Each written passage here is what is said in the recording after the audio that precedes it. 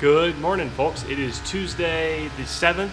I was not going to do a chip break today uh, because I was in a really bad mood. And I figured, you know what, actually, um, maybe this is a good thing to show because I know I am so enthusiastic about what I do. And sometimes I have to take a step back and remember holy cow, if you had told me three years ago, let alone 10 years ago, that I'd be running a real shop with multiple machines back in Ohio. I mean, just awesome. But um, I was really frustrated. Um, you guys saw on Instagram yesterday we were having a little bit of trouble with the lathe, although I think I got that nailed down, and that wasn't that bad.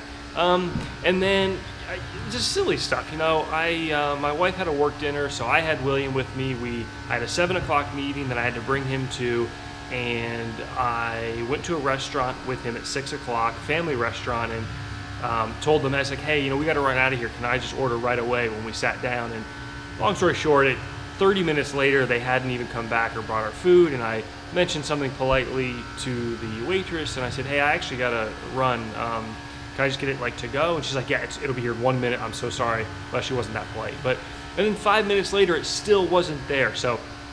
Um, what was funny is the hostess was like, "Is everything okay?" And I was like, "Oh, you know, it's just a bummer. I'd mentioned we had a run, and it's been 40 minutes now." And she's like, "Oh, well, you know, we mix all our food together with our takeout window. This is a pizzeria, um, so you know, sometimes it's even an hour, like smug." And I was just like, "Screw you." Um, here's the thing I, I, I don't like being around people that are negative uh, John Grimsmo and i were talking about this like life's too short man uh, the people out there that want to like hate and, and just be negative you know piss on them. But the reality is, you get frustrated. And then I came in this morning early, as tomorrow is vacation day, and I wanted to get some jobs done and out the door. And um, this one here was frustrating me. It's not the part now. It's honestly it's freaking fusion. And I learned a few things in the lathe and the tool paths that um, I think I've got it nailed down, but we couldn't get the adaptive toolpath to go. Let me put it on wireframe. I couldn't get the adaptive toolpath going down where I wanted it so that I could clear out, um, so that I could be clear. You know, see all this big gap right here? You know, I wanted to use a flat end mill or a bull nose because those aren't plagued by the zero surface feet per minute problem you have on the very center of a ball nose end mill. So I wanted to get those roughed out before I came in and cleaned the part up. And Fusion wasn't cooperating. It was the same part that was giving me fits on the lathe side, which I figured out had to do with um, had to uh, so, such BS. It had to do with uh, having spun profile selected, uh, which isn't something I should even have to have on this part. And then um, I can't remember what else. But so what do you? So I guess what I wanted to mention is. Um, I, I uh, not only I dislike being around people that are in bad moods. I hate getting in a bad mood. Um, I also don't like people that are like perpetually high on life, like that seem falsely those people that are just like perfect and, and just don't seem to have a dose of reality. Because look, running a small business, um, you know, there's stressful times, there's highs and lows. And I think it's unrealistic to just put on this happy face that nothing ever goes wrong. And so my question is is, is not avoiding the lows. It's just how do you deal with it? How do you deal with it? So you know, last night um, I watched half of The Martian. Um, there was plenty of work to do. Um, you know, William was in bed. He, he, sorry, I should mention that too. William had a great time. We went to the farm um, to check on something. We hung out together, played hide and seek. Uh, got, gave him a late bath. He's his second night sleeping in a big boy bed, so that's exciting. You know, I sat down uh, next to him on the bed on the floor. We don't have the. This is embarrassing. We don't have our uh, bed stands yet, so this mattress is just on the floor. Don't tell anyone I said that. And I said, William, do you want me to read to you down here? Do you want me to get up in bed with you and read? And he said, Daddy, come up here. So that's that puts a smile on your face. Anyways, then I watched The Martian, just kind of decompressed a little. Um, got in early this morning. It was a little frustrated because uh, this same toolpath, although it's running right now, I'll show you guys, it's doing better.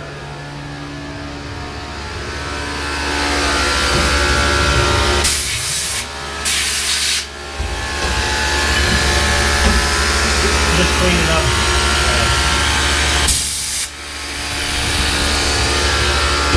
Just trying to clean that up. I don't know if you can hear me here or not. It's actually our work holding um, is going great. That was frankly the biggest risk that was meant I was gonna have to maybe redo this whole sort of project approach. So that's good.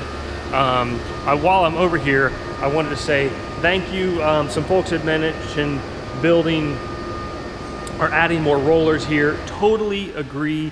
The origination of this thing was from the Tom Lipton's book, Metalworking Sink or Swim. And the idea is you've got this cart which you could move around if you wanted to, so hence why it's on those wheels, but um, you can lower material off of a forklift right onto this thing, which is actually really nice, especially when we're unloading like the Alro truck.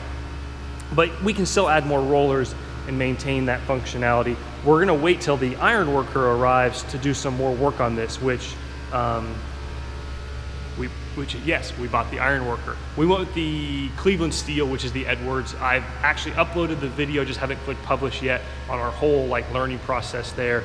Last thing I wanted to mention was we were having trouble with our scrap. Um, we, we're getting way too much nowadays to deal with little 50 gallon or 30 gallon Rubbermaid bins, which are hard to lift anyways. So um, they make those uh, really nice forklift like tip hoppers, which I'd still like to get some, but you know, they're one of the things if you get lucky, you can find them for a few hundred bucks at like an auction or new, they're like 1500 bucks. I don't really want to spend 1500 bucks right now.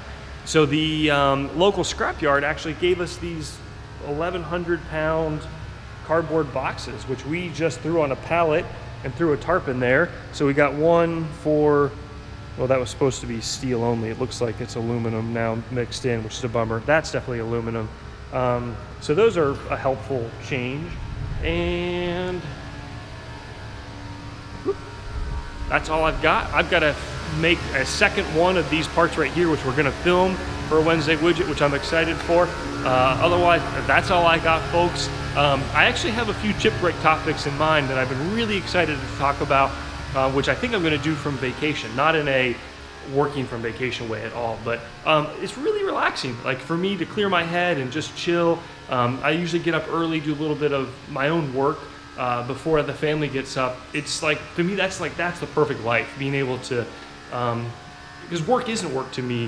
Um, I, I, love it. I'm curious to see what you guys think. You know, I, I always want, I always don't want to be one of those guys who just brings work with them on vacation. It's not like that.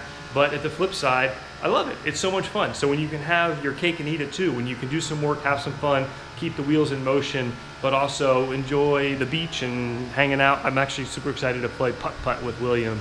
Uh, we're going to Cape Cod. Um, that's what I was going to mention too. I really feel like everything's coming together. I'm about to head out. We had a couple jobs come in. Jared's running with him.